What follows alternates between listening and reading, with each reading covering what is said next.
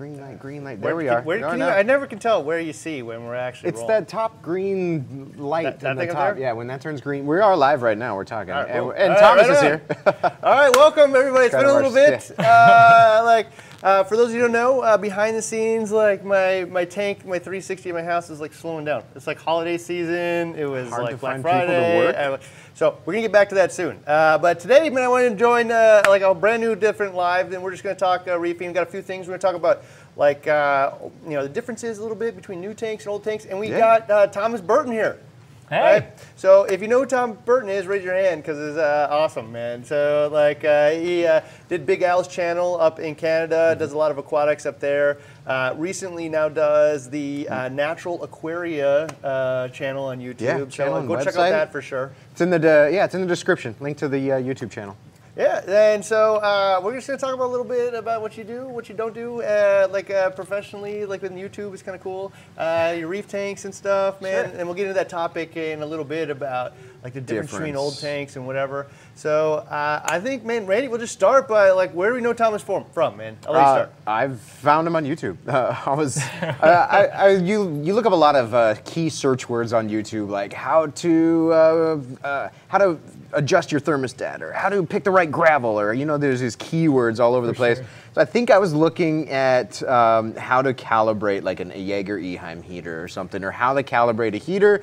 And uh, one of the Big Al's pets, uh, you, your face pops up here in this video, right?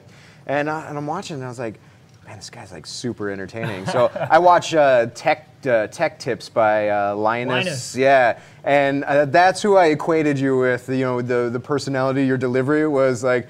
This guy's like Linus. This is, mannerisms, characteristics is awesome. So then I was addicted and watching a bunch of your videos. So, Awesome. Yeah, That's big super fan. flattering. Big. So I got about the same story, so I won't bore you with the whole thing. But, like uh, for me, uh, I watch. You know, I like to see what everybody's doing, so I go watch, and I don't always watch the whole thing, man. But like, I try to like see what people are doing, why they're doing it, and how they're doing it. And for me, like one of the only ones, man, that can watch the whole thing is your material, because you, you just carry it. I'm Like, doing something right. Yeah, That's yeah. awesome. And so I watched this whole thing, and I'm like, man, this guy has got like a personality. I like it. Wow. You can watch the whole thing. And Off it the cuff, too. me. I don't know. I don't know if you guys uh, uh, watch this channel, but Revzilla. You remind me of Oh, Revzilla. yeah. So this Oh, guy yeah. comes in on that one, and he's like, "Welcome to Revzilla, design and ride," and he's got like energy, and, like, I, and I'm like, "Oh man, this is this guy's like right in there," you know? Yeah. And so for me, also, you know, kind of finds that uh, like, you know, in between of watching me and all my little information coming out, and putting you to sleep. It's just so boring. Uh, and then uh, other guys like running around with their fish tank squirting guns at each other, uh, which is like Yeah. not really a thing. Right, you're right in the middle of that, man. You're keeping it fun, getting the information going. So like, I'm super excited to have you here. Thank you. Uh, I'm, I'm really excited to be here. I've been a massive fan of uh, Bulk Reef Supply's channel forever. Uh, I've, I've, you know, used you guys to uh, educate myself whenever there's a new product or a new topic or something that I haven't been able to personally dive into. You guys do an amazing job of getting that information out there Mm. in a practical way that people can absorb. Uh, and it's it's super dense the amount of information, but it's super concise and clear. And yeah, so I'm a huge fan of you guys. It's it's a, a really fun situation where you're fans of your fans. yeah, yeah, yeah. it's a mutual. Yeah. So a lot of people say they watch cool. our stuff wherever. But we were like, uh, I went out for like some fish and chips last night, and uh, I, like it was really clear because he was like reciting some of our videos back at me, and I'm like, oh, you must really actually watch. yeah, yeah, no, absolutely. All right, right on. So if you have any questions for any of us uh, throughout this, man, just pile them up. A Yeah. lot of what we're talking about is like you know you did this like five minute tank guide, you know, and it was really about that first year of reefing and getting past the hardest part. And so later on we'll talk a little bit about like you know water changes or maintenance, lighting, cycling a tank, refugiums, filter socks, like. How do you treat it a little different, like after year one than you, in that first important year? So we'll hit on that a little bit. You got questions for us? Let them pour in. Uh, Yeah. You got any questions, just personal for uh, uh, Thomas here, like his favorite taco or whatever? Feel free. Yeah. Uh, and so, tell us maybe like a, a little bit about your reefing journey when you started your first tank, uh, where Sure. it landed you, and Dave's got some pictures of it. He'll share with you along the way as well. yeah, so from the go ahead. website. Awesome. So I started reefing probably about 16 years ago. So I've been doing it Hmm. for a while. I'm not an old guy, but I started when I was really young. So um, my very first tank, I remember it was uh, like an Eclipse system Oh, okay. with just some Yeah. fluorescent tubes, and Mm-hmm. I had some soft corals in there. That very quickly turned into a 65 gallon with 400 watt halides. That's a big jump, right? Yeah. And uh, from there, I, I kind of f- fell in love with, I guess, nano reefing right away. So my tank right after that was a 20 gallon. Oh, you with, downsized. Yeah, Yeah. way more light on it than I could have ever thought I could put on a tank. 12 inch tall, 20 gallon, 16 inches front to back, and I had like a 250 and a 175 halide and some VHOs all staggered nicely with different spectrum bulbs. And from there, uh, Oh, hold up, hold up. So not a got picture of traditional this thing? 20. this one, no. I wish one. I still. This is Oh, it's on like your we're phone. talking. This was like 19, uh, or sorry, 1999, 2001, 2002. This is like pre-digital camera. yeah. Oh yeah. This is I one like my first My webcam. cell phone. Yeah. Yeah. I didn't have anything. This is my first. I was using a webcam that gave me like resolution photos that Oh, were this yeah. big on my screen. Yeah. But um, after that, like I, I started trying to play around with things a bit more, and I, I heard for the longest time you can't run a canister filter on a reef. So I did a 20 gallon, which is uh, actually on the Natural Vivaria website, and it was an SPS reef. I had clams in it, and uh, it ran on a canister filter, no skimmer, Hmm. no fuge, just five gallon weekly water changes and uh, some Ecotech lighting, Ecotech pumps. And I had SPS grow in that tank at a, a really decent rate. I had an auto dosing system I stuck on at one point Yeah. because it gets super tedious doing Oh, it by yeah. hand when the consumption rate is so high. Were you doing two part or Kalkwasser or what were you Um, dosing? so I was dosing uh, on that tank. That one was actually probably one of the more recent tanks, um, and it was right after the Aqua Vitro line of products Mm-hmm. came out. So I was using Aqua Vitro on that tank. Um, I've used Seachem products for a really long Mm-hmm. time. So, but yeah, so that tank was a really fun experiment. I had a 40 gallon breeder that I did was probably the first big build, not big tank, but big build where I had no pumps, tons of plumbing. I was really trying hard. oh, so you drilled it, you added some, Everything, so yeah, you did the whole nine. went yeah. crazy. And I, I know you've just done a 40 gallon uh, Yeah. recently. I did it for me, for the most part. There's some situations where I go different, but for me, 40 gallon breeder, then 120. Yeah. All the rest of them in between, I, I'm I, like I don't. Have, sometimes it's 60 cubes I like, but uh, That's pretty much what I did. I had a 40 gallon breeder. I made a like a mid step at like 60 gallon tall, and then two months after that was in 125. Yeah. So Well, I- I like the 90 cube too. So the 93 cube. So the cubes have a little place in my heart as well. But if it's a rectangular shape, it's 40 breeder, then 120. yeah. Yeah, that, that form factor just really like the reason I really loved it is it lends so well to aquascaping. Yeah. So yeah, So one of the things I wanted to hit on real quick is you're talking about that, that 20 gallon uh, tank, like you know you had success with, and Sure. all you did is like a canister filter on it. Yeah. Like, so really, the canister filter is probably running carbon, and it's like acting like a filter sock and doing all the normal things a little filter does. I, I always tell people all the time, man, like you can put hang-on gear on your little 20 gallon tank if you want, or you can just do weekly five gallon water change on it, right? And if you do that, it's 25% just as good and way cheaper done. and Yeah. way less ugly. yeah, you know, like, uh, in fact, like, and even in that case, like when you hard plumb the, or not hard plumb, but when you create like a closed loop with your canister filter to get all the benefits out of that, it's just two little pipes that come over the edge, right? Yeah. It's not like all this gear hanging all over the place. Yeah. yeah, It's a lot more minimalistic. That's one of the reasons I wanted to do that. I even attached just a surface skimmer just to. I, I like overflow systems because they get rid of that slick at the top of the water. Yep. I didn't want that, so I threw that little surface skimmer on there, and it, it did a, pre- a pretty decent job. I also didn't run it with the standard media. I just took two coarse foam sponges and just biomedia, and that was it. Oh yeah. right? I, I didn't want it to bog up. I didn't want to have like filter floss that was constantly getting. So I just did the maintenance, five gallons once a week, gravel gravel clean the uh, substrate, and If you can have a tank that's just a one five gallon bucket water change That's, is all uh, you need to do. Like that is when it actually the easiest and cheapest way to be successful. Oh yeah, and Right, I mean you can and you can achieve some of those iconic, awesome looking tanks. Like you can have a wall wall to wall SPS 20.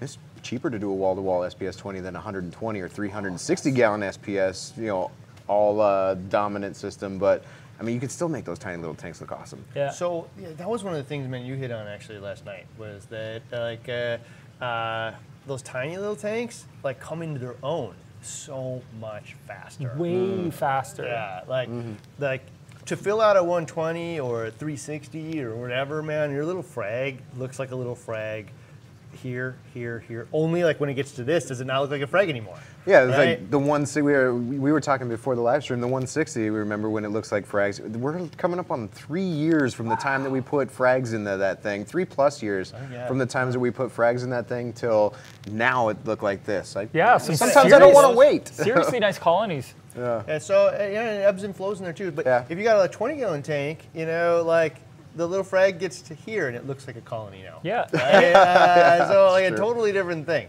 So especially if you're like a newer reefer, uh, or even like you can see why you know a lot of even like pro reefers are doing this like in their office or whatnot. Like I, I don't want to have an ugly tank in my Mm. office for the next two years.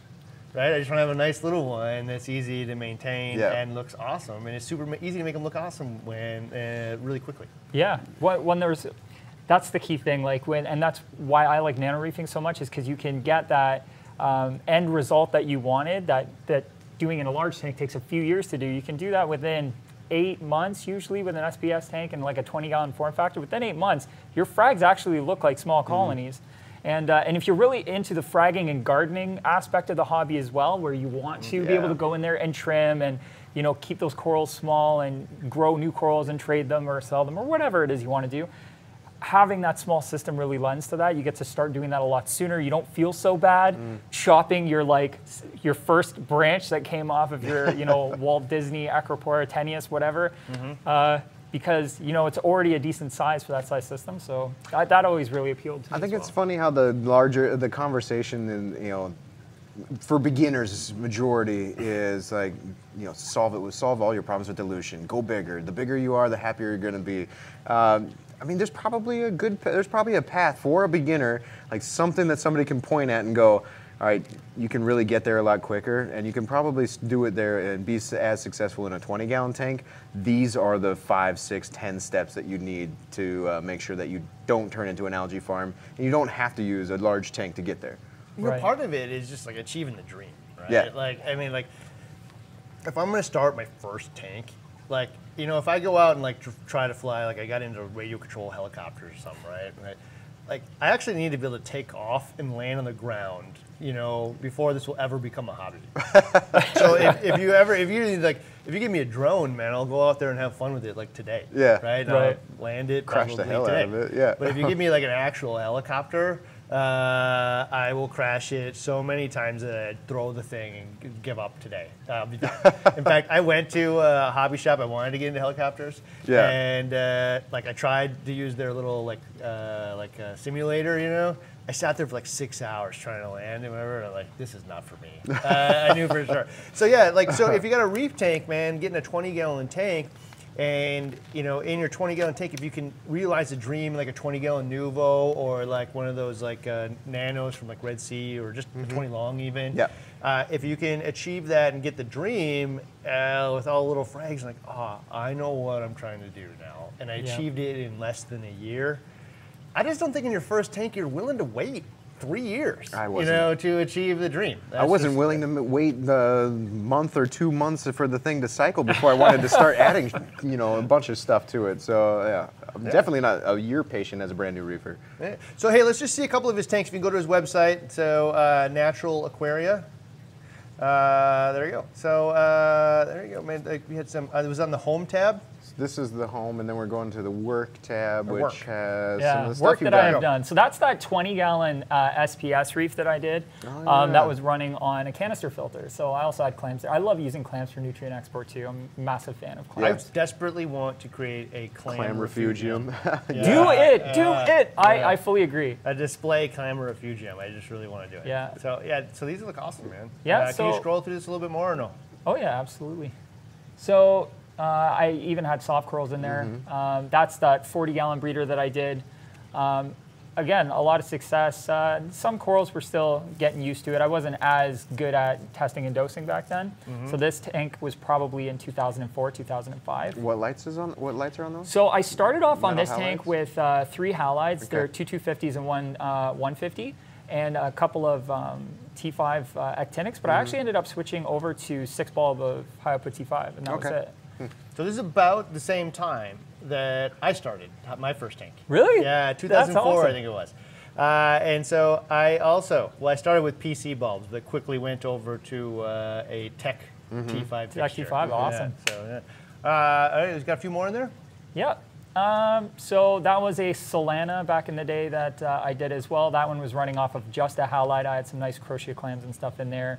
Just I like to collect a whole bunch of stuff, so clams, zoanthids, stuff like that. That tank was a little bit more recent. It was an SPS system I did. I probably did that one back in 2000 and maybe 2009, 2010. Geeked out on the gear, I see on yeah. that one. And so- then I, I did some planted stuff as well. I do freshwater and saltwater, so so I had a little bit of fun with some small freshwater tanks and uh, yeah, just Especially experimented. from that Pico You were saying you're into aspect. dart frogs as well. Yeah, so I also look do some artificial displays just for fun, right? Just for practice. but uh, This is what it could look like. yeah, just just aquascaping, just having some fun tank makeovers and stuff like that. That was my uncle's tank. He bought a house that had a built-in tank in the wall, and he wanted a reef but couldn't take care of one, so I got him an African cichlid tank that looked like a reef instead. But those are yeah, so those are my 10-gallon vertical uh, dart frog tanks. I was breeding um, various types of dart frogs. I find there's a huge kind of crossover in uh, keeping dart frog vivariums. Um, uh, as keeping reef aquariums, there's. Oh, yeah. so It's- so many dynamics It's that are m- similar. massively, uh, and you'll find reef tanks in those same houses. Yeah. absolutely. So there's a local guy here that has like I'm gonna butcher this the size here, but I believe it was 15 feet long tank that was like six feet tall by like three or four feet deep, right? And uh, he ended up like getting a job down in Costa Rica where he had to go do some construction, so he couldn't take care of the reef tank. It had like stingrays in it, and like, but it was all full reef. Like there were so many, and he had all kinds of predator fish that eat coral, but he grew more coral than the fish could eat. Oh, wow. Right? Yeah, so it was like it was really cool. Uh, but he eventually couldn't take care of it. It was like the kind of tank you had to build the house around too, Yeah. you know. yeah. But he turned it into a terrarium, you know, just filled with dart frogs and stuff like so. 15 feet of dart frogs. And Even stuff. better. That's That's awesome. Yeah, so uh, yeah, that's uh, really cool. So we were talking actually last night a little bit about that. Like, you know, the natural thought is that like people gravitate, you know, from freshwater to saltwater. And I think some people do do that, you know, but like, I think that it's the fact that like saltwater's so hard and rare and cool, and it kind of attracts a different kind of crowd a lot many times. It's like so dart frogs and stuff like rare and cool and different, you know, like it's yeah. just not super common, you know. No. Uh, and so I'm not surprised to see that those things kind of uh, gravitate towards each other. Yeah, it's it's really interesting because it, on so many levels it's the same. It's a, a complete ecosystem that we're trying to recreate. Um, there's a lot of collectability in the plants, just like there's collectability in corals. There's fragging. You know, you're trimming those plants, getting cuttings. Uh, the frogs are very, very similarly colored to a lot of the fish. I actually have a blog on that Natural Aquaria website too that has a lot of those visuals that compares dart frogs and, and the fish and the plants and the corals and so on and so forth. And it's just really crazy how many parallels there are that and it just feels the same. It feels the same, but it's so much faster to set up a vivarium and have it look completely full of plants and grown in Yeah. in a short period of time. And breeding dart frogs, a little bit easier than breeding saltwater fish, I would say. Yeah. But still, that like there's this prestige about it that it just you feel so good when you manage to accomplish those things. Hmm. And yeah, so for me, they're they're on the same playing field for sure. Right on, man. Well, uh, so like, tell us a little bit about how you got into uh, YouTube and video. Like, I, I'm not I sure. see a lot of first channel- comments who uh, some are saying they started because of you. Oh, very cool, man. Yeah, that right makes on, me man. so happy. So, and some that have like seen all of your work, I, I'm just kind of like browsing comments here casually. but- That's so awesome. So, uh, sorry. What year was your your channel started? Ah, we started um, the Big Al's VOD channel started five years ago. Okay. So I'm bad at math. 2014. Okay. So it started five years ago. Uh, basically, I'd been working for for Al like for I don't know 14 years at the time, uh, 13, 14 years. So and they approached me. They know I'm a little bit of an eccentric guy. You know, I got a sense of humor on me, uh, and I, I, they know that I love the hobby, and I I was.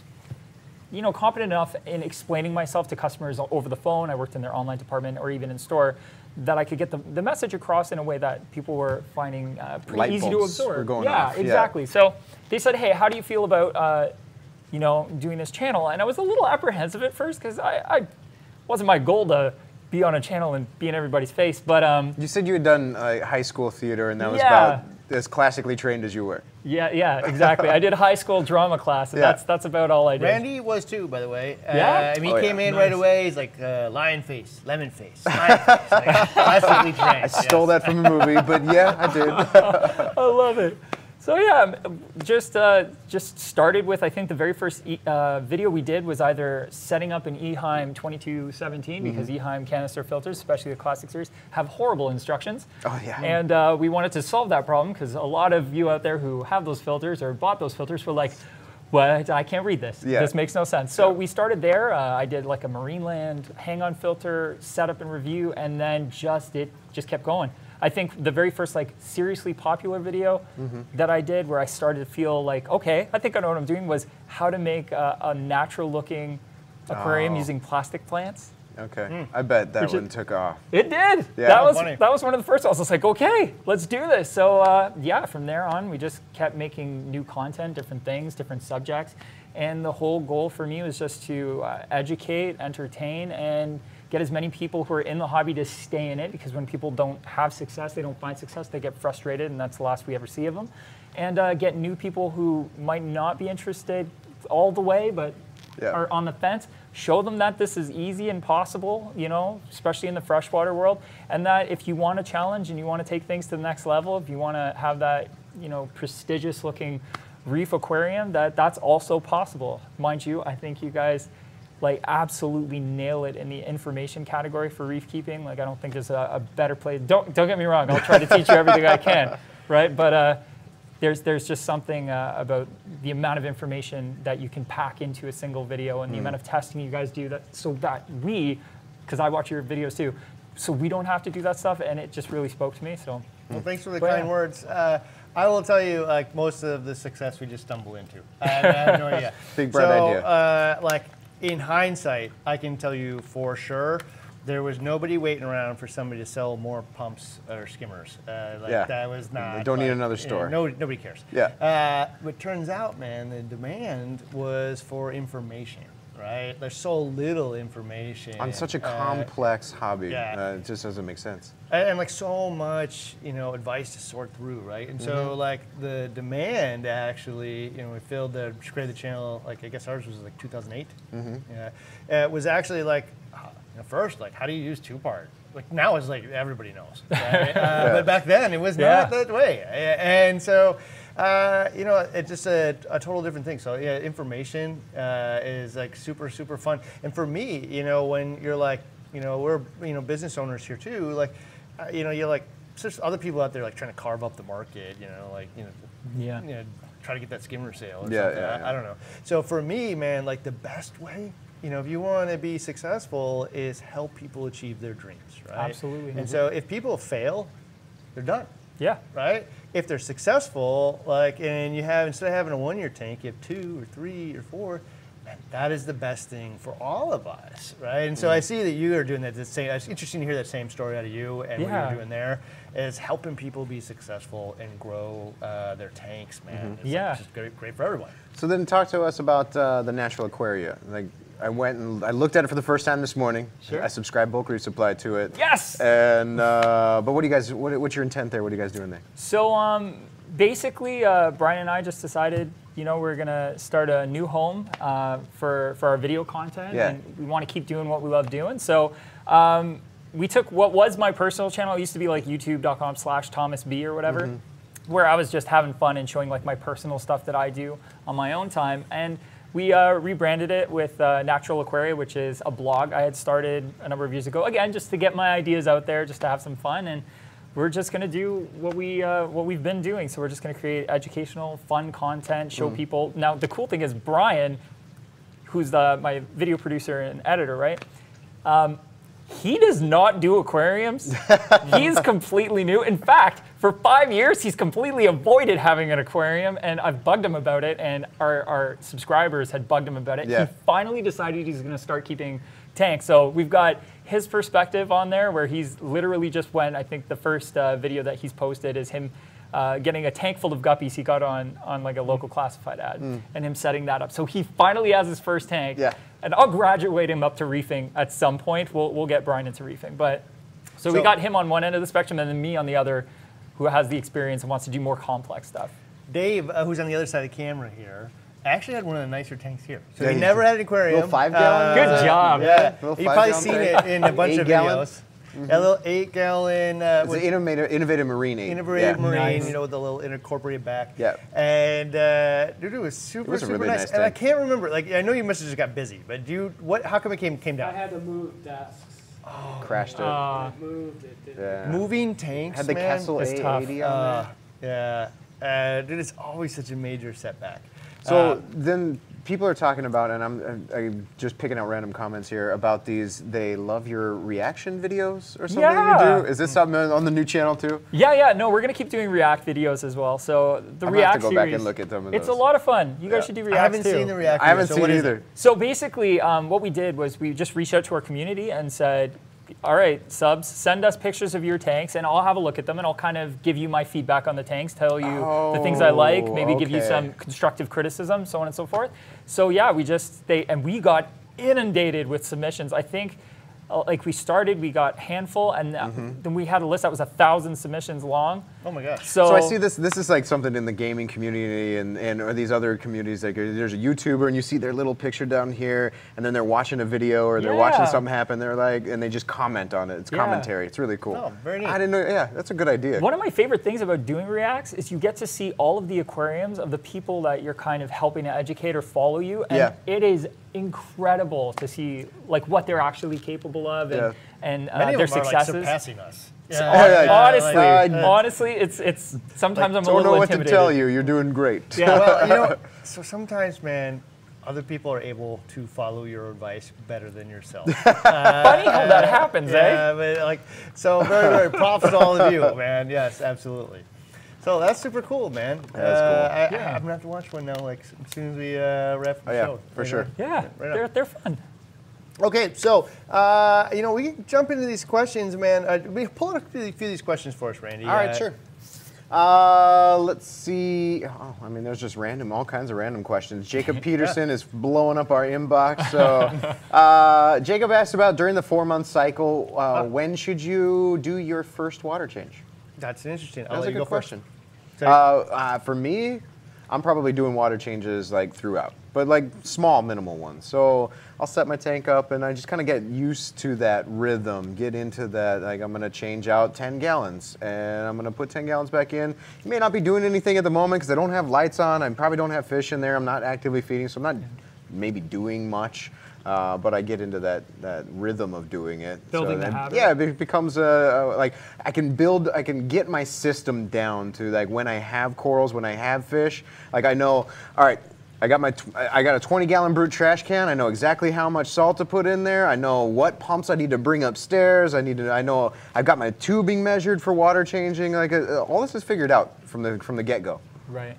So I was told don't do water changes in the beginning, like forever ago, uh, because you're gonna like export the bacteria and you gotta let the tank cycle and stuff. And like surface. turns out that is garbage. Uh, like that is not true at all. Like the bacteria lives on the surface of the rock and sand, not floating around in the water. I wouldn't be removing like largely anything. And like if you didn't do it, you are absolutely setting yourself up for the wrong maintenance cycle. And, Yeah. like, and I'm just building nitrate and phosphate up for when I'm going to turn the lights on. I'm just building the time bomb. Like, there's Yeah. no reason that you should not be doing the water changes from the beginning. Yeah. Like, I can't think of one. I, I don't. So uh, for me, I've always uh, I've whether it's freshwater or saltwater, I'll usually start doing water changes a couple, maybe three weeks in. I, I you know, seed it with ammonia, whatever the food source is. Let that do its thing with the bacteria for the first little bit, and then just right on top of those water changes for the exact reason that uh, you guys are talking about. Number one, building the habit's super important because if you don't, you're just not going to do it. If you already haven't started, you're probably not going to start. Yeah. And then uh, making sure that when you do finally flip the switch on the lights and start adding livestock, you're not, you know, already being inundated with nutrients that are just going to fuel things that you don't want to have happen in the first place. So no, it makes perfect sense to do water changes. Just why, just why, why are you going to wait? Just start doing them. Well, it's like, I mean, so there's some world where I could tell you you don't have to do it until you get nitrate levels or whatever to, to certain levels. But like with somebody's asking this question, you're probably new. Yeah. And Yeah. like, So I'm not gonna uh, You know, easy advice: is the right advice, right? And so just do them, and then get rid of the dumb conversation about Yeah, the rest yeah. of it. If you're a super pro reefer and you've been doing this for 20 years, first off, you didn't ask this question. You already know, You- you right? already know from Yeah, trial so and the person that's asking this question Yeah. doesn't know and is probably doing this their first rodeo. Give the person with the first rodeo the right answer. And This is kind of the heart of a little bit of what like what I, I, I've been talking about lately uh, with a lot of people is you know people ask advice like should I do water changes? Should I change my filter size? Should I do this or that? Whatever thing. And almost everybody actually like immediately thinks to like what I'm doing and then wants to like kind of share that information. But very few think about the person that asked. Yeah. Like Yeah. and if you are thinking about the person that asked, man, count yourself amongst like uh, the best quality advice out there, right? Mm. At least you're thinking about that person, right? Mm-hmm. And so in this case, uh, if I'm you know into this for five years and I'm not doing water changes anymore because I found the like secret sauce or whatever, Yeah. you know, well. That's just different than the guy that just turned the lights on for the first time. Well, so You then know? you're, Yeah. and that's where uh, these new these new reefers and stuff get uh, the mixed advice is uh, they go and read the forums and they see, well, this guy has a really awesome looking tank and I want that tank, and I also see that he's not doing water changes. I'm not going to do water changes because that's the that's the path to success. It looks like. So that's so true, man. It's like you go there and you ask a question or search for it and find the answer, and then there's 60 answers there, hmm. right? And they're all different, you. Yeah. know. And you just don't know who to listen to, man, right? And they're all the answers are actually based on a very specific scenario.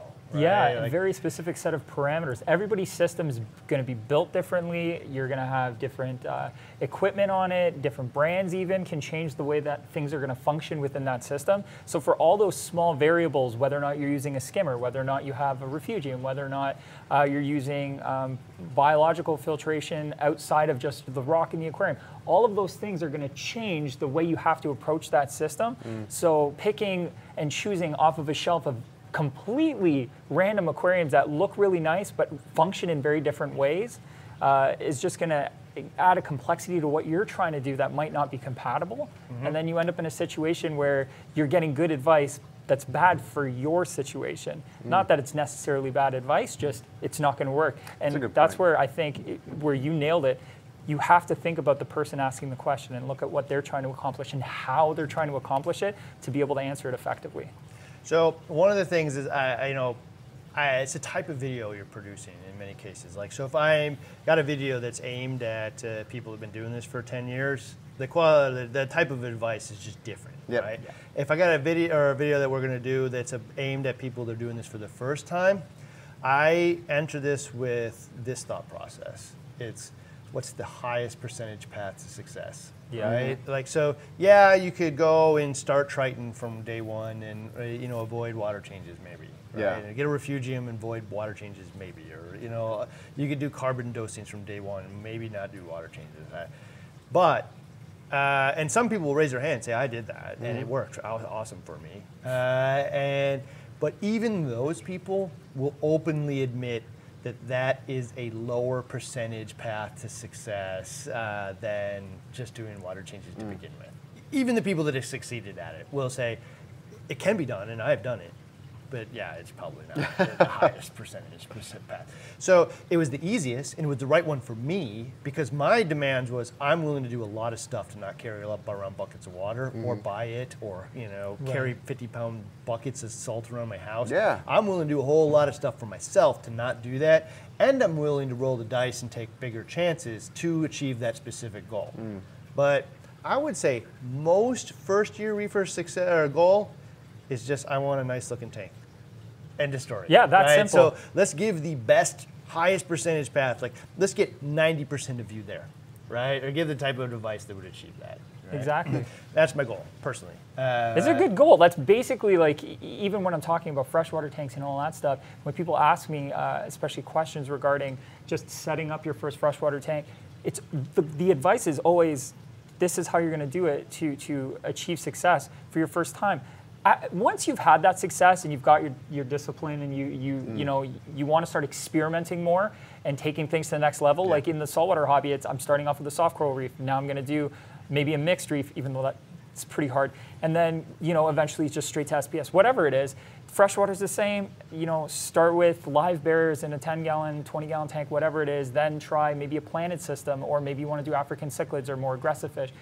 It, it's important to introduce people to things that they're going to be successful with, mm-hmm. and then let them figure out what path they want to take after that. And they start now that they're comfortable and they've got the base, they mm-hmm. can move on to something a little bit more difficult. And Yeah. fostering that kind of uh, um, uh you know, of, of a community in the hobby and, and making sure that people are getting the right information for them so that they can have that success is critical to making sure that they not only enjoy the hobby, but they stay in it. And we want more and more people Yeah. to play with, Yeah, right? We want to share and, and have more aquariums and, and find new ways to do things. And you can't do that if the pool just keeps dwindling because only a certain range of people are capable of doing it with, uh, you know, the information they had access to at the time. Well, luckily, man, information in reefing has never been more available, right? It's blown up. I mean, when I started, it was only books. Yep. Uh, magazines were, Yeah. eh, uh, and the forums, man, definitely. But I had 4,000 posts there trying to figure out what I was going to do.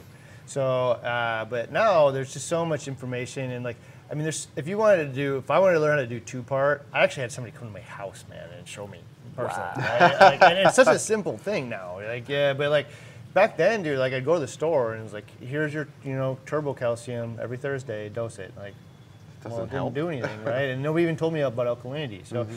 it wasn't the same thing that now, like, there's, it's everywhere. There's so many videos. And mm-hmm. like, mm-hmm. when I started, YouTube didn't even exist, right? I think YouTube came in in 2005 or Something six or something yeah. like that. And now, you know, like, if you want to look at instructions, man, like, it's just, 40 pages of instructions. No thanks. I can actually share with you inside of two minutes. Yeah. Because in the instructions, it's like put thumb here, put other thumb here, tear, use two million. In this case, in video, you're just like, okay, we're gonna tear it open like this, and you know, Yeah. it's like Done. totally different set of instructions. There's no diagrams or mm-hmm. whatever. And so it's just so much easier to share information these days uh, and rapid and, and, you know with the advent of like uh, the uh, forums now and like on your mobile device and you know Facebook groups and stuff like that. There's just information's everywhere. Yeah. I do wish though, like I, I really wish, and I, I challenge everybody out there to think about this for a minute. Next time somebody asks you a question, right? It'd be so awesome if, if the community in general, when somebody asks a question, like to really see all of the next hundred answers, think about that person and how your knowledge can help that person rather than just kind of sharing what we've done in the past, right? Which is, it's usually like 80% the other one, just sharing what worked for me. Yeah, Uh, this uh, hobby's riddled with anecdotal. There's an Oh anecdotal this, this, I, I dosed this and this happened, so it means it, it's gonna work for you. And uh, anyway, even researching the hobby uh, has led me down that path. Like everything that you guys have tried, I'm, I'm gonna try it too, because obviously it worked for you, and fail, fail. The same thing with like, uh, like especially the advice that I got with my brand new tank and killing all nitrates and phosphates and all out war on them and while I'm trying to grow SPS and it just didn't work. It doesn't work. No. Yeah, well, I mean, that stuff is like the, the nitrate conversation. It's like we didn't have the tools to get rid of them. And now, like, we, like, our, Too tools are so strong, like, uh, You got to get 'em add it back. in? Yeah. we, we solved a problem to create a new one. Yeah, Yeah. I don't know. So, Well, you talked about instructions, man. This is actually one of my funnier stories. Like, uh, and I don't know if it's a funnier story, but like the instructions used to be so bad when I started the hobby, man. Like, especially the stuff that was coming out of China. they're right? not technical writers. Yeah. So, and it had to be translated because the stuff like uh, came from China and it was written for China first, you know, and so it had, you know, been translated by somebody, but not anybody that knows English actually, just barely.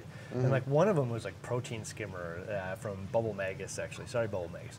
Uh, and it, it was like such broken English, and it's like if Protein Skimmer not working, taste effluent. Right? Uh, Uh, um, uh, do not, do not taste the effluent. Mm. I like, oh, they're telling you to put fish poop in your mouth. And granted, like, like the, probably translation is like smell or something instead of taste, but like. That just goes to show you if they can't get that right, the instructions were so bad. Like mm. so, no, you couldn't usually use it for anything. Somebody had to show you how to use this, right? Absolutely. And, and in fact, today we just shot a video this morning about tuning your protein skimmer, and I'm really hoping that we can like change the like level of how we go about this because like at the end of this, Dave has looked at me and he's like, dude, I've never seen this explained this way before. Right? I'm excited to watch this. uh, me too, actually. I don't know. Like, you know, like all the concepts just kind of like came together, and like you know, at the end of the day, I think most of us have run into a scenario where, like I use this skimmer and it worked awesome. Then for some reason, the exact same skimmer doesn't, Doesn't work do good anything for, for me, yeah. Right. Uh, and like, why is that? You know, like why is magically Randy so bad at Ah, this? it's got to be the skimmer, right? The first thing I'm gonna go to is like, ah, it's just a, it's a piece of junk. I, I don't know Yeah. what it is. And so, like, why does it like boil and not produce anything? Like, why, uh, you know, all these different things, man. And we have other reasons, uh, and I can't wait to share with you. I won't bog you down in this conversation, but like, you know, we can elevate the level of information around, man, and then share it and apply it and give feedback, and the game just keeps changing. Yeah. you know, so super, super fun. Maybe we got another couple, couple of questions here. Uh, yeah, there's quite a few. Let's see here. Uh, oh, Apex Fizgay uh, hooked us up with 10 bucks. Oh, thank you very much. It says, hey, Thomas, thanks for your dedication. Uh, when he left the military, he, uh, he said, you and Joey popped up, uh, and, the, and that's when he started uh, fish keeping. That's awesome. So this hobby uh, saved his life, uh, and so have you. So thank you. He'll always support you. There's Thank so, you so much. many people, man, um, in the military, man, uh, doing reefing. It's uh, Yeah. amazing. Yeah, we- uh, like, I, I Especially when we're moving around all the time. Uh, Yeah. But luckily, when I when I did it, got into it, it was my last. Well, it wasn't my last move, but it was the last time I'd have to go somewhere for an extended period of time. But even then, the the gears, uh, the gear aspect for me was so awesome because when I went to uh, Africa. Uh, I had a webcam that I could look in at any moment and look at, and even move around and pan up and down and left and right, so I could watch my fish while I'm you know overseas. and then I'm online just buying a bunch of stuff. Like, stick it in the closet. I'll hook it up when I get home. Just stick it here, stick it here. So I give you time to plan out, you know, your reef and stuff. So I can see where you're coming from. That's very, very, very cool. All right, shoot another one. Uh, George Carr says, besides Harlequin shrimp, what else can clear out uh, Asterina stars? I don't know the answer to that Your question. hand and vacuuming. I, I was gonna say manual removal. Yeah. Um, Asterinas are a bit of a pain. Hmm. Uh, they're pretty prolific once they get going. I did. I used to service a tank that had no coral of any kind, nothing Yeah. in it, just fish and a big coral insert. And the one thing that they had in droves was Asterina starfish. I could literally fill a mason jar with them, throw it away. Sorry, starfish. And then it's, uh, that's life. Yeah. Um, and then I'd go back in three, four weeks, and they'd all be back. Yeah. So, but yeah, Harlequins are the They only made it way out of the way of. out of the jar and back in. No, No, no, no. no they. That would be a feat. That's like some Finding Nemo bag rolling. Yeah, they Uh, go really, really fast. It's And just, Yeah. it's just interesting. It's super awesome. I mean, it's really cool. If, if you have an infestation, it sucks. But it's really cool to see, like, when you drop a harlequin in or a pair in, that all of a sudden the stars gravitate away from them and up onto the wall. They and know. I mean, they Yeah, know. oh, yeah. They know for sure that uh, terror is coming. Yeah. So I just watched that happen in Jeff's tank. Uh, so Uh-huh. uh, marketing director has a bunch of those snail or uh, starfish in there, and they dropped one in, and you literally could see the waves of them going away from me. Like, how do they know? Which you also makes them easier to uh, get with manual removal too. So like drop a harlequin in that can pick up the residual, and then while they're all migrating to a corner, suck them up and get them out of It's there. It's almost like herding. I was Yeah. gonna say Yeah, yeah, we got Harlequin shepherds. yeah, just yeah, going around. exactly. Yeah. Oh, very cool. Uh, what else we got here? Uh, Kevin Kim says, "What is a tolerable allowance of swing and alkalinity on a daily basis? Has a 14 gallon uh, f- that uh, fluctuates between 0.3 and 0.5 DKH uh, in between dosing, and is this normal? I'll let you go first. Uh, so 0.2 DKH of a swing is, to me, is probably not a big deal. All right, dude. One. Po- uh, not point one. Like Just one, one like full seven to DKH eight, point. Dude, you're good. Uh, Yeah. I, and that's with most people. I, I mean, I would shoot for better, but like if you're testing throughout the day, uh, like and most people are, te- are dosing like 24 hours a day or Mm-hmm. whatnot, and like there's definitely consuming calcium and alkalinity more during the day when the rates of photosynthesis are happening faster than at night, Mm. and so like the range that you're talking about. Goldman, you're part of If- the better group. If Uh, any, uh, if any of us who are manually dosing uh, by hand for two part uh, have this are ruined by a 0.2 fluctuation in alkalinity, then there would be nobody out there without a dosing Yeah, pump. yeah, yeah, Yeah, exactly. Everybody would have to have a dosing pump, or this wouldn't work. No, point So- two is like a, a goal for me. If that's all I swing, like that's that's pretty good. Keeping it perfectly stable feels like basically impossible. Yeah, I'm sure mad it's not, but- scientist. yeah, Yeah. no, but point two Yeah, is with nothing. like things like the Trident now, like where you actually know, you can start to adjust your dose to the times where you know, and, you know. And I will say that I can't tell you that you know, like that super tight window of alkalinity is going to produce a result. But I will tell you the mentality behind the person that is shooting for point two uh, produces the best tanks, uh, no question. So the person that's shooting for that part, point two gets the best coloration, best consistent growth, best health uh, uh, of the corals. And it might be because that person is just that person, or it could be part of the stability uh, of the tank, and that animals just thrive on stability. They're meticulous about every other thing else too, keeping uh, the lighting stable, the temperature stable, this, you know, all of these other parameters stable. That, yeah, that's why they can produce a better tank. I would call you, uh, by the way, in uh, point three to point 0.5 in the uh, top, probably 25% of reefers. Uh, you're getting that swing throughout the day, especially in a in a 14 gallon tank. Uh, I mean, that stuff happens a lot faster in a small volume of water because, in that case, in a small tank like that, the ratio of coral to water is generally way way higher than it is in a big tank. Yeah. Yeah. You know, in a big tank, there's a lot more open space and a lot more open water, and so uh, things just happen faster in a tank that size. And so you are doing really good. So you should be proud. Solid. Absolutely. Uh, Jacob Peterson, I'm going to get to some of your questions here because uh, Dave pulled a lot of them over. So let's start with do you- how do you keep plastic plants clean? Oh, I guess that one's for me. Yeah. I don't know. I, I'm I never had a freshwater not a tank. plastic plant guy. There's a, a couple ways. Uh, one, just making sure you don't have a ton of uh, phosphate or anything or high nitrates constantly in, in your tank is going to help. Not having your aquarium uh, freshwater tank near uh, a window, so it's getting natural sunlight. That's going to elevate the amount of algae you get in the tank. Not leaving your light on all day long because it- most people aren't home all day. Yeah. So if you only have your light actually on for the three or four hours in the evening that you're actually going to be able Mm. to enjoy your tank, that's going to help reduce the algae as well. And let's face it, ambient room light for fish is going to be enough for their circadian rhythm. They Yeah. don't need more than that. Yeah. The, the light's really just for you.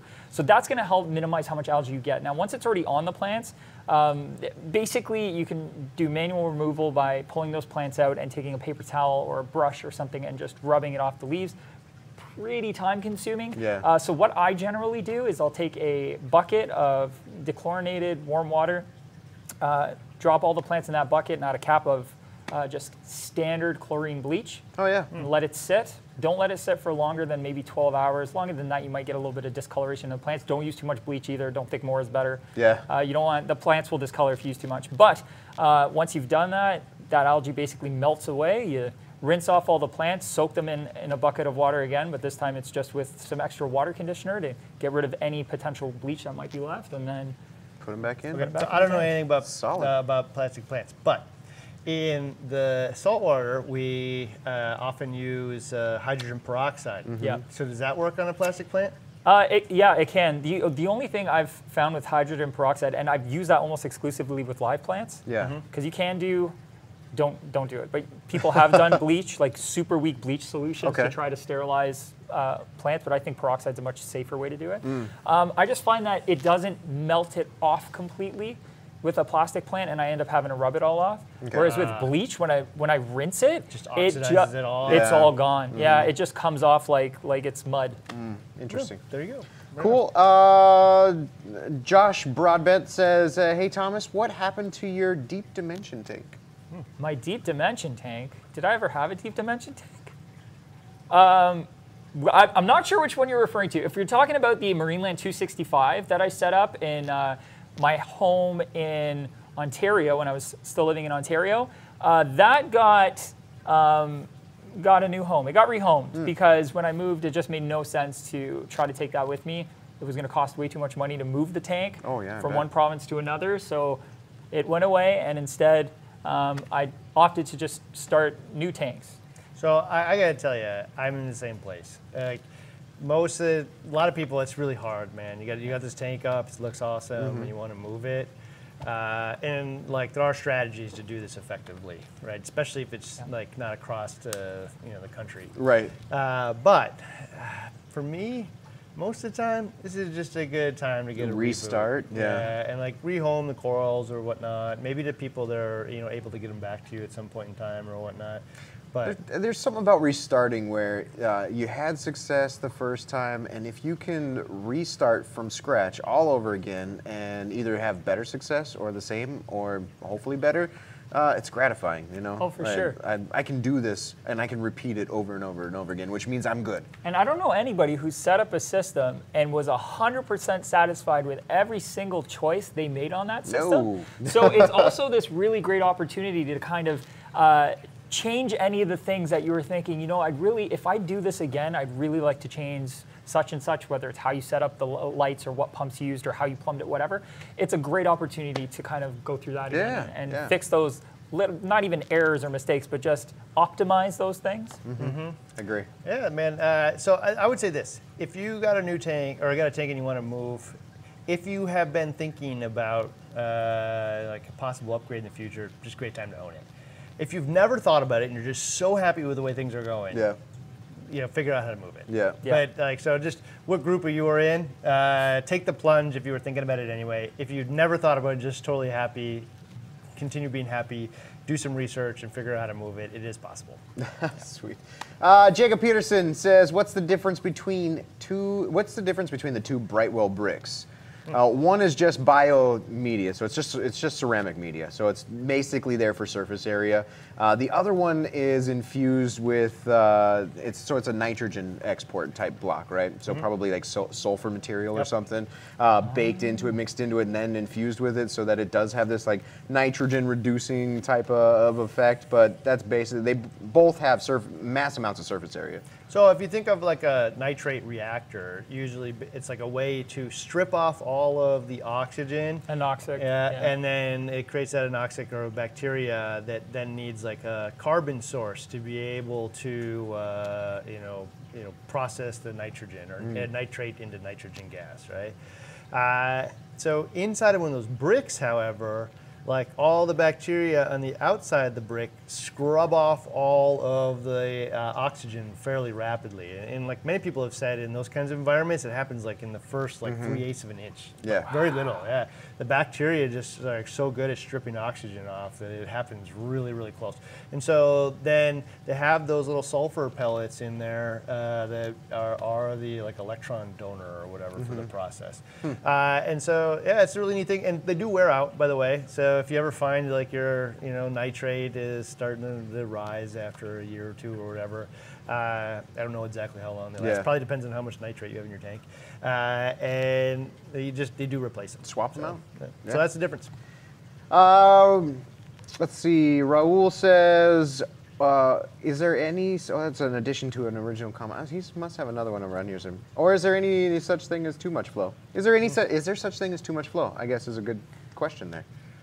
Uh, and in our in the case of our, well, obviously there is if you have like coral tissue loss. Yeah. If, if, if flesh is falling off of your corals, uh, or you just uh, or your fish just hide the corner all the time. I don't know. Maybe uh, some fish can't handle a high energy reef. Then uh, too much flow. Uh, sand. If you have a sand bed and it's blowing around all over the place, probably too much flow.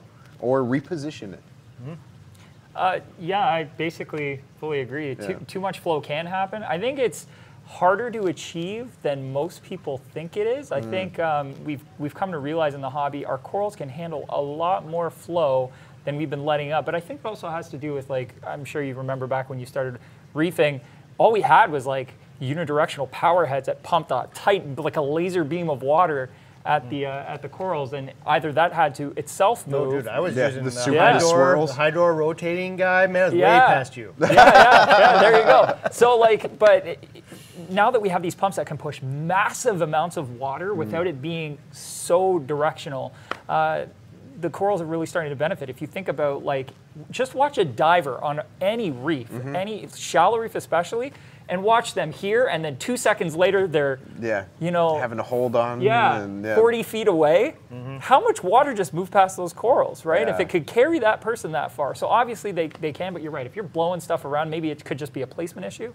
But Yeah, I, I would say if you can't see a visual problem, then uh, that's just fine. Like any sign of too much flow, you'll see with the naked eye. It, Oh, will- yeah. it, like it will look like an unhealthy animal. Yeah. Uh, and it's just skin's blown off of it, right? Uh, so I- like I, I snorkel and stuff, and so like I often like try to pay attention to like what's happening uh, while I'm snorkeling, so that like like can try to recreate that in my tank. And a lot, often what I'll see is the effect of the waves, and so the waves will pound water, you know, in inshore, and you can watch it. Like the corals are just kind of like looking like this. There's a current, you know, that is kind of going like this, and then eventually there's so much water on shore that it needs to leave, right? And then it starts coming back out, but the water's still coming in, and so now you see turbulence, right? And so now they're going like this, but eventually the water wins, going back out, and then they're going this way. Yeah. Right? Uh, we should create a dance out of it. Yeah, I know. if, if you watch long enough, you can kind of watch the like uh, how it happens, and like I've actually watched it just sitting on the beach too, man. I can watch like where the water is going, you know, Yeah. and, and it comes in, and you can see kind of it, it swells to a point, and then it needs to break somewhere. Yeah. So, uh, yeah, and like so. I don't think you can have enough flow or too much flow unless the eye sees it. But one of the things that like you know people get super hung up on is like 30x, 50x, 100x, 10x, Oh, yeah. whatever. Put All a that number stuff to it. is like garbage, Yeah. man. Uh, I, I like it's hard because everybody wants to know the number, right? But it's really actually garbage. Mm-hmm. So like what you got to look at is in the tank, where are the dead spots? Because even though I have like you know 50x flow shooting here, you know behind that rock over here, it's like 2x. Yeah. You know, like and like in the middle of the tank in the back, it's 1x. You know, so how can I add flow so I'm getting 10x everywhere? Mm-hmm. It's kind of like par. So in the past, like you were people were testing par, and they're Yeah. like in the middle, it's 500, but like you know six inches over, it's 100. Yeah. Yeah, not good That's enough. not gonna help. What we're looking for is like you know 200 to 300 in as much of the tank as possible. Mm. Spread that thing out. So you know 50x right here, laser beams hitting each other, no good. Uh, but can we like start putting them in different places? Like more less powerful pumps in the right places, Mm. best results. Mm-hmm. Uh, my Agreed. Yeah. Agreed. All right. Awesome. Uh, Dylan's Den says, uh, are there are there definitive tests that show lava rock be uh, is detrimental to a mixed reef tank? Um, and again, gives an example. My 55 gallon has been up for over seven months, completely scaped with lava rock. Corals are growing and fish are good. Oh, well, so in this case, uh, seen oh, I'll, I'll, do you have any opinions on lava rock? For a reef tank? I, I've never personally used lava rock in a reef setting. I've Mm-hmm. only ever used it in freshwater, so I'm not really sure. My my mind immediately goes to what is lava rock like fundamentally made out of? Is Mm-hmm. there going to be extra uh, any any metals in it? Any other minerals Mm-hmm. that are you know potentially going to cause issues for for sessile invertebrates or Yeah. any invertebrates for that matter? So I don't really know uh, how it would work. Have you guys used Never used ra- lava rock. lava rock? Okay. I don't so even know if Let's I've get it seen under a one. spectron microscope and rip it apart and find I out what it's made it. of. soak it in water and get some ICP tests, Yeah, right? yeah, exactly. So before I ever like put a tank based on this, uh, I would go and I, I, you know, ICP now is like 50 bucks. Right? There's probably even cheaper Ah, ones. there's yeah, there's So like you know, just go out and soak it in a bucket of water and test whether or not metals are coming out of it because lava comes out of the ground. It's molten metal and all kinds of other stuff Mm. that's coming out of the ground. The most of the rock that we're using is calcium carbonate based, which is the same base as what the coral's actually made out of. Yep. Right.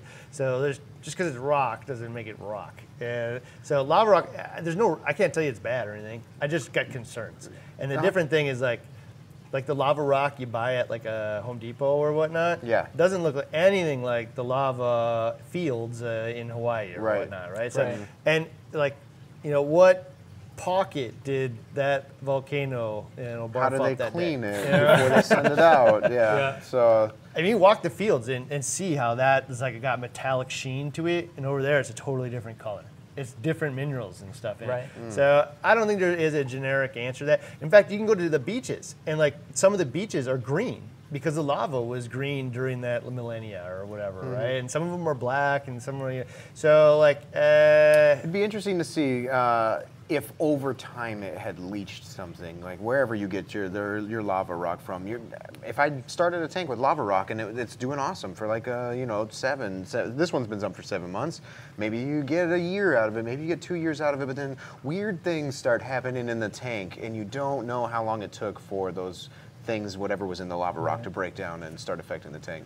So that said, uh, uh, before we're like all alarmist that a lot Yeah, of yeah. rock is bad, uh, I will tell you, tons and tons and tons of people use that black sand, Yeah. which is lava. There you go. Right now, it's lava that has been, you know, uh, pulverized into little teeny bits over a millennia eh, on the beach and then collected. So, it's cured uh, for a thousand years, probably, or whatever it is. Uh, uh, but it's lava that came out of the ground, you know. So, I don't know, you know. I, I've heard people like run magnets over over the the uh, the black lava sand before, and like go pick little pieces up. Doesn't mean it's bad, you know. Like I mean, we put iron, which is magnetic, in our tanks all the time in form of GFO. Yep. Yeah. You know, so like metal doesn't mean bad. It just scary. So, Yeah. It is. Yeah, so I don't know. absolutely. A black rock, a black sand is cool though, in, in its own way. That hides a lot. I, I feel a, a, a, a BRS video coming out soon. The- That, Uh, that, test- that tests test unconventional, rock. just Ah, any any unconventional rock, tougher Very- rock, live rock. You know, put it all to Texas the test. Holy. Well- Texas Holey, there Yeah. you go. Okay, so rock is totally different now. Like the conversation, you know, we used to say dry rock, dead rock, whatever, Mm-hmm. live rock.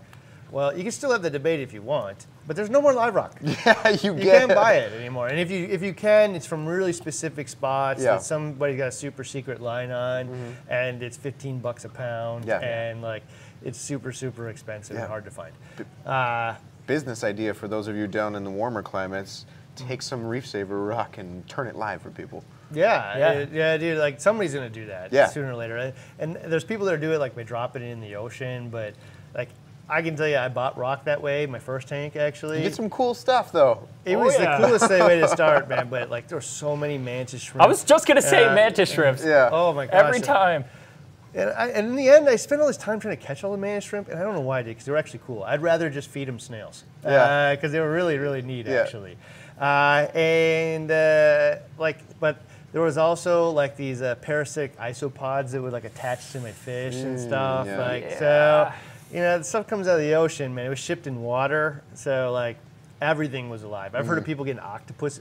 Actually, Yeah, the buttfish. yeah, I dude, my buddy where uh, that came in here, uh, and he's like, "Dude, I just cycled a tank, man, and a fish appeared out of nowhere. I got a fish hitchhiker in my rock, and I'm like, what, dude? How, uh, how a fish doesn't live in the rock, man?" And it was, I was like, "Wait, wait, wait. Did you put a cucumber in there?" And he's like, "Yeah." And you got a buttfish. Yep. Yeah. Parasitic cucumber buttfish. Yeah. Yeah, dude. I'm like, I like, oh my god, I never. I've heard of people getting that, but I've never met anybody. you name Larry. like, so, so for those you know, there are uh, fish that lives inside of cucumbers' butts, uh, and you can get one uh, as a hitchhiker on uh, your Wow. rock. Yeah. There you go. Yeah, so we- well, I mean, getting back to what you were saying, the the rock selection's limited.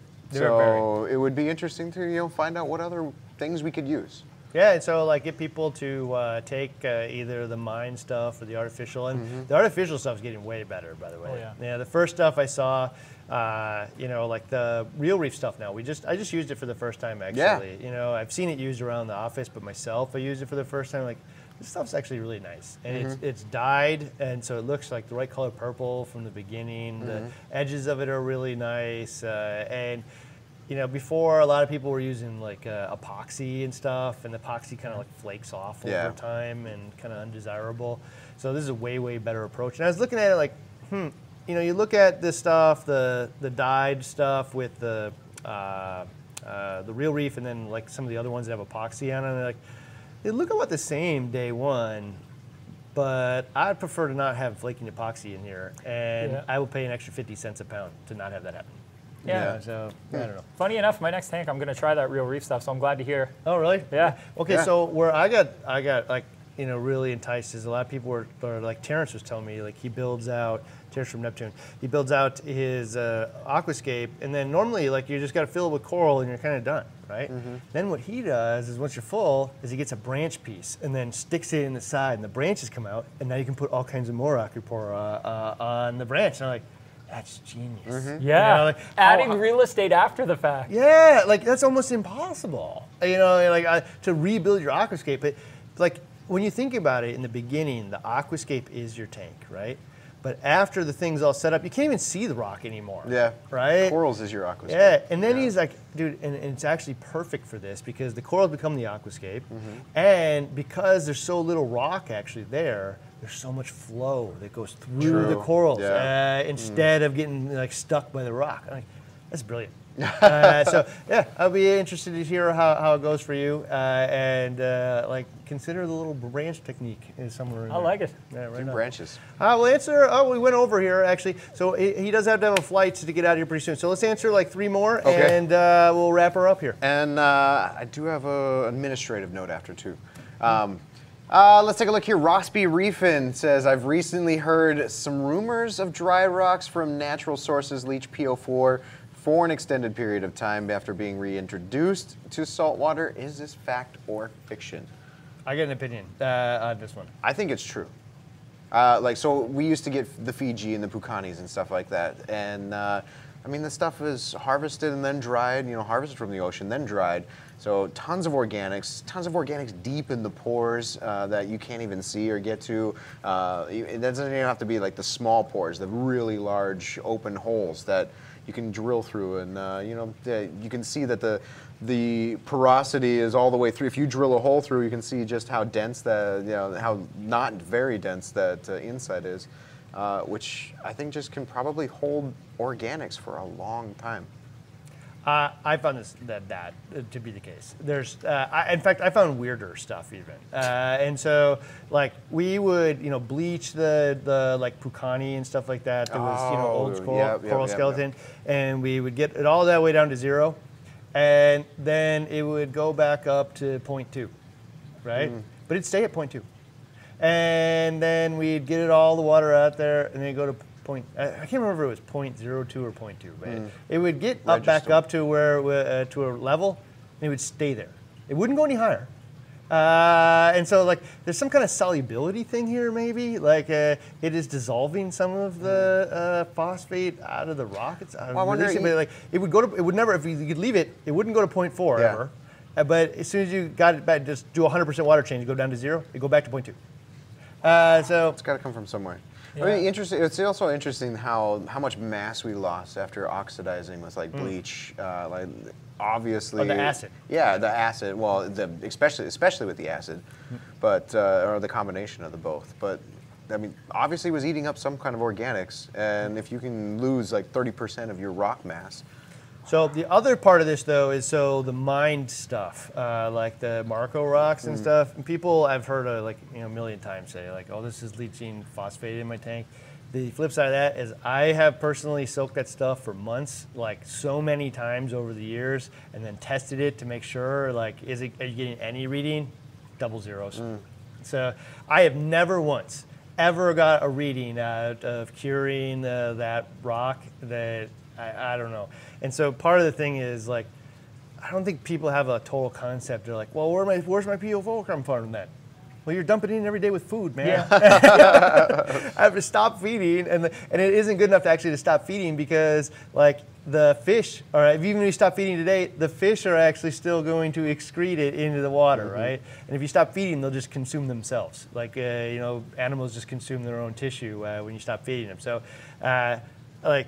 Uh, even the, if you like like little crabs and stuff that are starving in the tank, oh, are going to do that too. So, uh, but I, in my experience, the the mine stuff, at least from the sources that we're getting it from, like never ever. Uh, that doesn't mean that there hasn't been like a pocket somewhere someday that had that in there, but I don't know. But the live stuff that is an organic, you know, coral at one point in time, and the same thing actually with uh, coral media too, right? So like when your calcium reactor, Ah, true. Yeah. The calcium, uh, even well, it's the limestone stuff. It had phosphates in it. Uh, obviously, the live or the dead coral skeleton bits that were pieces of coral were in the ocean have phosphates in them after especially if you're dissolving them with CO2 and like you're getting them down to nothing but fine grit uh, you're, you're whatever phosphate they were holding on to is now Yeah, whatever is bound inside of Yeah. it is just getting released as you break it apart. I mean, you hope and pray for uh, like all of the trace elements you'll ever meet, ever need. Eh, maybe it's not as diverse of trace element dosing uh, as actually like a, a system of liquids, but uh, I mean, there's some in there to some degree. So that was an interesting thing. Like when we went to Worldwide Corals, and they were like, "Yeah, so we don't really have a problem with nitrate, but phosphate eventually gets up, and like we use the phosphate E, you know, and they like to dose it so they can, you know, not just strip it all out, but control uh, with precipitation, uh, and so."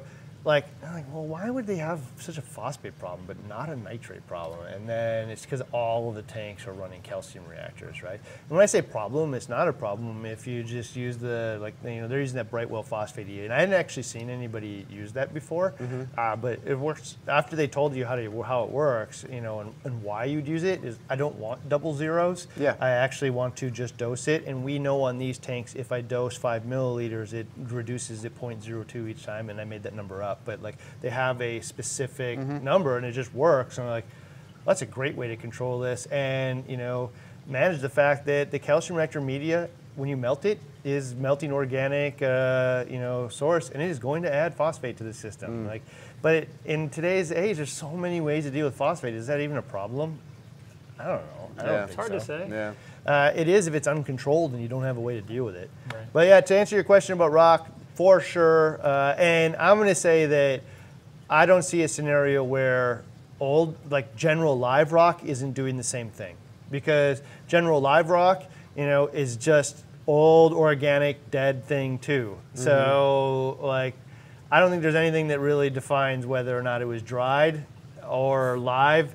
And, and what live means, by the way, is uh, 90% of the cases, it was taken out of the ocean, sat in holding for two weeks at some place, entered a boat that took a month long boat ride to LA, and sat in a holding place there for two weeks before it was shipped to you. So, live and damp, or I don't know, like kind of the same thing, kind of not.